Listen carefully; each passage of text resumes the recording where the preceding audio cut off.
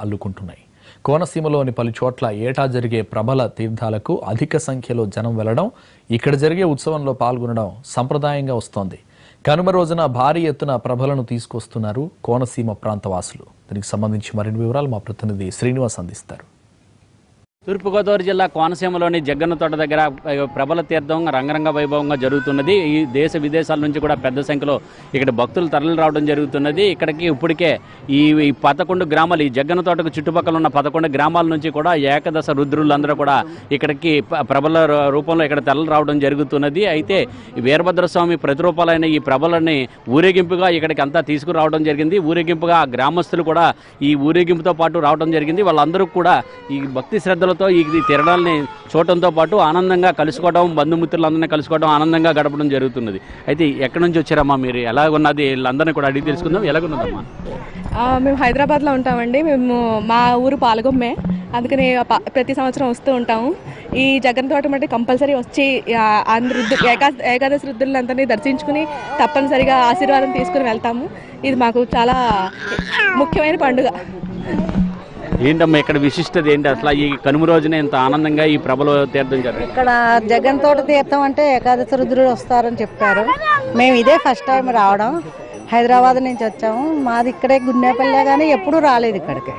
ఈ రోజు తొలిసారి వచ్చాము. అన్ని దేవుళ్ళని దర్శించుకుని వెళ్దామని. చెప్పారు? ఇక్కడ వాళ్ళందరూ కూడా ఈ ఏకాదశి రుద్రుల్ని ఏకకాలంలో దర్శనం చేసుకోవచ్చు. దర్శకు దర్శించుకుంటే మంచిదని చెప్పారు అందరూ ఇక్కడ బాగా రష్ ఉంటుందని భయపడి ఇన్నాళ్ళు రాలేదు. ఈ రోజు వచ్చాము మేము.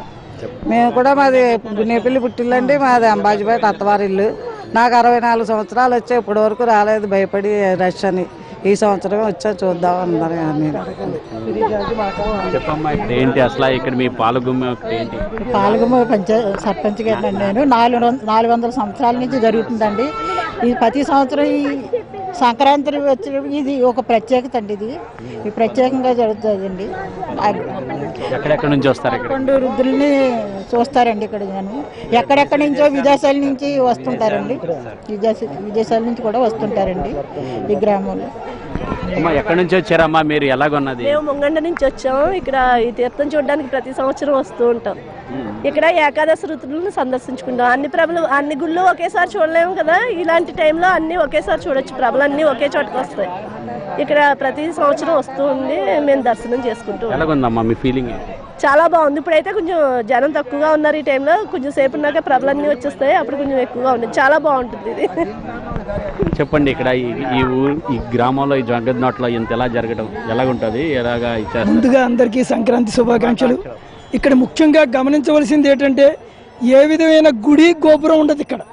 కానీ పన్నెండు పదకొండు రుద్రులు ఇక్కడ కొలువై ఉంటారు. చారిత్రక అంశం ఇక్కడ నిమిడితమై ఉంది. సుమారుగా పది కిలోమీటర్ల దూరం నుంచి భుజాల పది పది పదిహేను కిలోమీటర్ల దూరం నుంచి ఈ రుద్రప్రభల్ని భుజాల మీద మోసుకుని శరభ శరభ శరభ అనుకుంటూ ఏకకాలంలో ఇక్కడికి వచ్చి ఉదయం తొమ్మిది గంటల నుంచి సాయంత్రం నాలుగు గంటల వరకు తీర్థం జరుగుతుందండి. ఆయా ప్రాంతాల నుంచి ఆ పదకొండు వృద్ధుల ఊళ్ళు చుట్టుపక్కల ఊళ్ళు ఆ పక్క ఊళ్ళు అందరూ కూడా వచ్చి ఇక్కడ ఈ వృద్ధుల్ని దర్శనం పుల్లేటుగురు వ్యాఘ్రేశ్వరం ముక్కామల ఒక్కలంక కేపెదపూడి పాలగుమ్మి మొసలిపిల్లి గంగలకుర్రు గంగలకుర్తి అగ్రహారం కేపెదపూడి పదకొండు వృద్ధులు పెద్దాపురం సంస్థానాది నుంచి ఇలా జరుగుతూనే ఉంది ఇది ఇక్కడ నాలుగు వందల సంవత్సరాల నుంచి అంటే ఈ అప్పర్ కౌశిక్ నది పాయి దాటి రావడం కానీ ఈ పంట పొలాలు తొక్కుని రావడం కానీ ఈ భుజాల మీద ఈ మోసుకుని రావడం కానీ ఇదంతా కూడా ఏంటి ప్రత్యేకత ఇది అంతా కూడా. భక్తులకి ఎటువంటి? వాళ్ళు చాలా ఆనందంగా ఉంటాం మేమందరం కూడా ఆ పంట పొలాలు దేవుడు తొక్కుతుంటే ఇంకా బాగా పండుతుందని నమ్మకం వీళ్ళందరికీ కూడా ఇక్కడ మాకందరికీ కూడా. అలాగే పండుతాయి కూడా ఇక్కడ. ఆ, ఇక్కడ మోసుకుని రావడం వల్ల వివాహాలు జరుగుతాయి. ఈ పూర్వకాలం అయితే పెళ్ళి సంబంధాలు అవి ఇక్కడే కుదిరివట. చూసుకోవడం అది కూడా ఇక్కడ చేసుకుని చేసుకుని ఎదరికి వెళ్ళేవారట. కాలక్రమేణా అదే సాంప్రదాయం కొనసాగుతూ ఉంది ఇప్పటికీ కూడా. ఎలాగున్నారు సార్ ఇక్కడ? ఎలాగో ఎలా చేస్తున్నారు? ఇది తరతరాల నుంచి మా నాన్న నుంచి వస్తుంది. చాలా చెప్పుకోదగ్గదంటే కోస్తాలో పదకొండు ప్రభులు అరహర మహాదేవ శంభో శంకర అంటూ భుజాల మీద ఊసుకుంటూ పన్నెండు కిలోమీటర్లు పదిహేను కిలోమీటర్లు. ఇక్కడ నదీ తీరంలో రెండు ప్రభలు వస్తాయి. వాటి ప్రత్యేకత కూడా చాలా ఎక్కువ ఉంటుంది. ఇంకా ఈ చుట్టుపక్కల జనాలందరూ మహా జనం లక్ష పైన ఉంటారు మీకు. అంత కిటకిట ఆడుతూ ఉంటుంది. ఇక్కడ పెళ్ళి కావాల్సిన వధువులకు పెళ్ళిళ్ళకి షట్ అవుతాయి. అది మాత్రం కాన్ఫిడెన్స్ డెఫినెట్గాను. అదొక విశిష్టం ఉంది ఇక్కడ.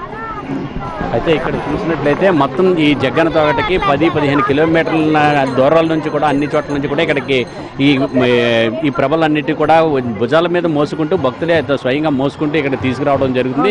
పంట పొలాలు తొక్కుకుని రావడంతో పాటు అప్సర కౌశిక నదీ పాయం దాటుకుంటూ కూడా ఇక్కడికి వస్తూ ఉంటారు. దీంతో ఇక్కడ ఈ తీర్థాన్ని చూడటానికే ఈ కనుమ రోజున బాగా పెద్ద ఎత్తున భక్తులు ఇక్కడ అందరూ కూడా తల్లి రావడం జరుగుతుంది. యావత్ కోనసీమ ప్రజలే కాకుండా దేశ విదేశాల నుంచి ఇక్కడికి వచ్చేవాళ్ళు కానీ ఈ ప్రాంత ఆడపడుచులు కానీ ఎక్కడెక్కడ ఉన్న వాళ్ళు వాళ్ళందరూ కూడా ఇక్కడికి వచ్చి ఈ కనుమ రోజున ఇక్కడ ఆనందంగా గడపడంతో పాటు ఈ తీర్థాన్ని కూడా తిలకించడం కూడా జరుగుతున్నది. పెద్ద ఎత్తున ఇక్కడికి తరలు రావడంతో ఇక్కడ అంతా కూడా ఒక పండుగ వాతావరణం నెలకొనడం జరిగింది. అయితే ఇక్కడే స్వామివారిని పదకొండు ఏకదశ రుద్రులు కూడా ఇక్కడ ఇక్కడ ఏకకాలంలో కొలువై ఉండడం వల్ల వీళ్ళందరినీ కూడా దర్శించుకోవడం వల్ల పెళ్ళి సంబంధాలు అవి కూడా కుదురుతాయి.